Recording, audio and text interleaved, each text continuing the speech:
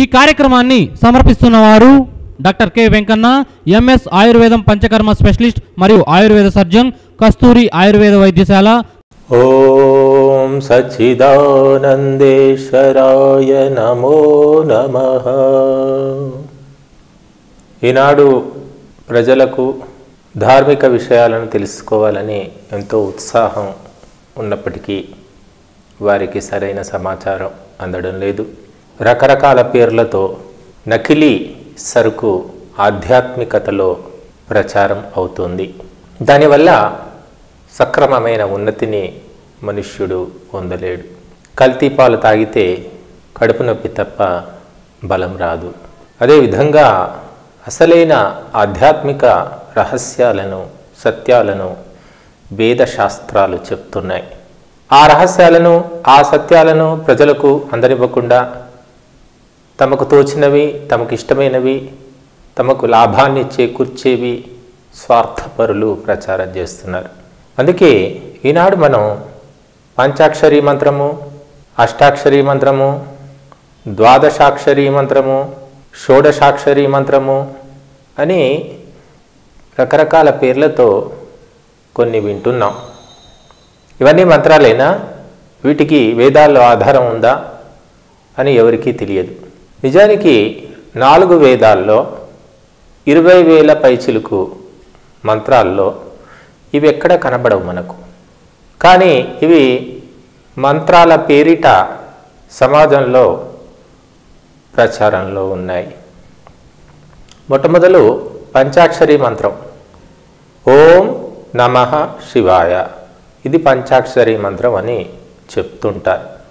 శైవులు విశేషంగా దీన్ని పలుకుతుంటారు. నమ శివాయ అనే వాక్యము యజుర్వేదంలో మనకు కనిపిస్తుంది. కానీ ఆ వాక్యానికి అర్థము కళ్యాణకరుడైన పరమాత్మ. అతనికి నమస్కారం.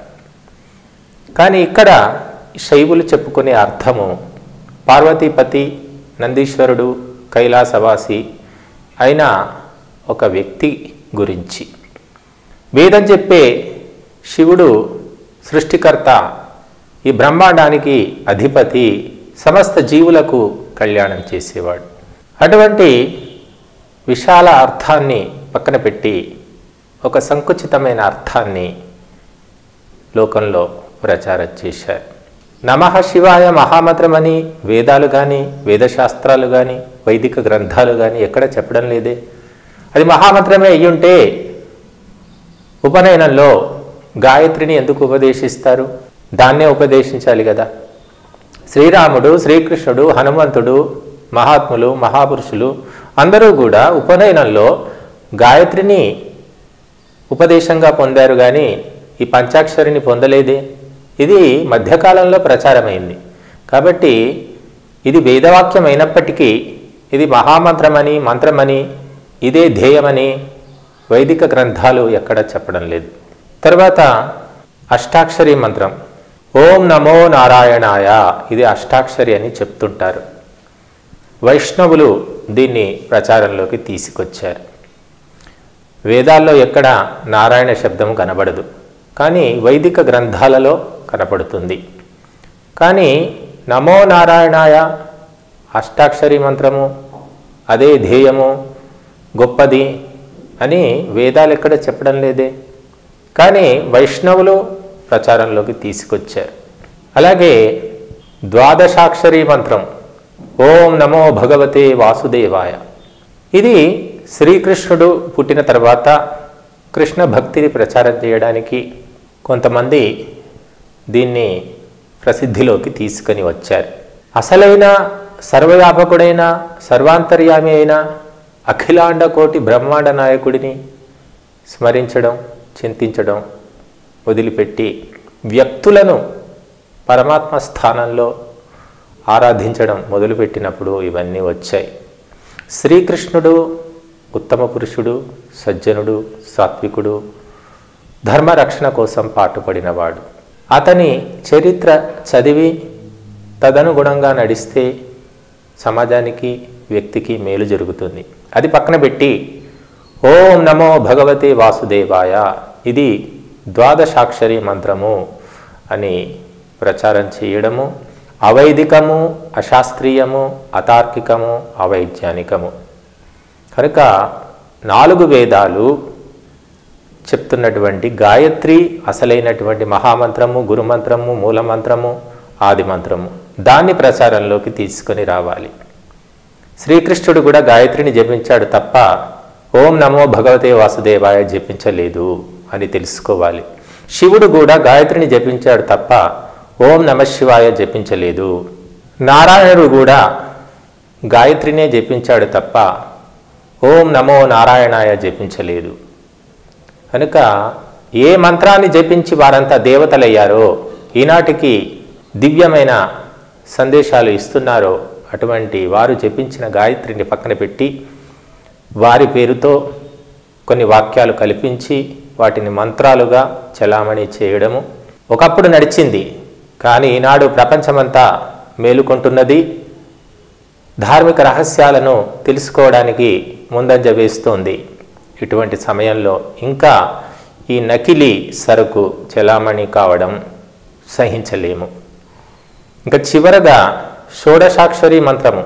హరే రామ హరే రామ రామ రామ హరే హరే హరే కృష్ణ హరే కృష్ణ కృష్ణ కృష్ణ హరే హరే.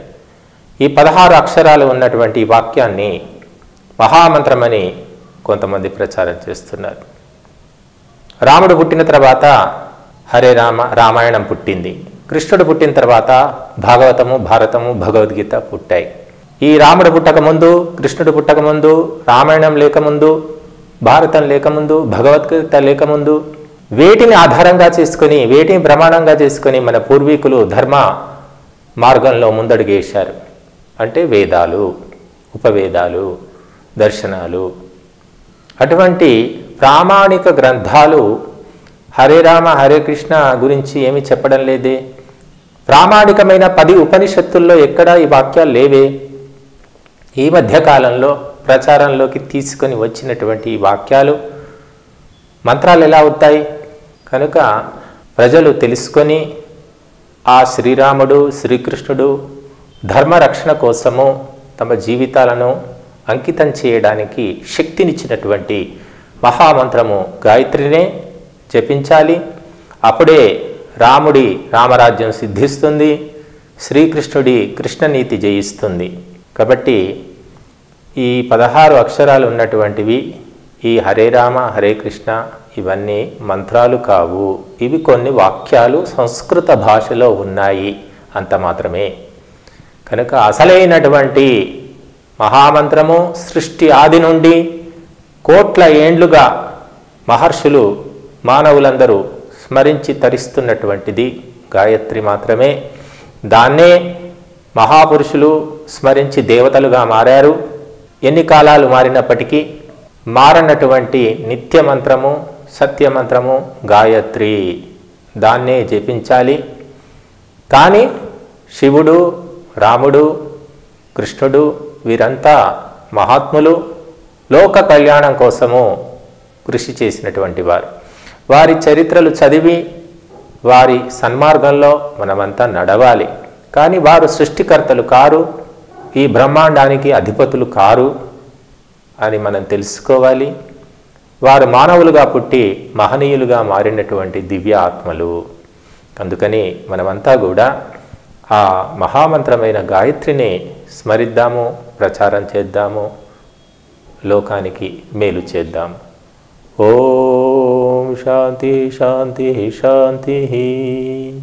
ఈ కార్యక్రమాన్ని సమర్పించిన వారు డాక్టర్ కె వెంకన్న ఎంఎస్ ఆయుర్వేదం పంచకర్మ స్పెషలిస్ట్ మరియు ఆయుర్వేద సర్జన్ కస్తూరి ఆయుర్వేద వైద్యశాల కరెంట్ ఆఫీస్ పక్కన కిసాన్ నగర్ భువనగిరి నల్గొండ జిల్లా మరియు బోడప్పల్ రంగారెడ్డి జిల్లా.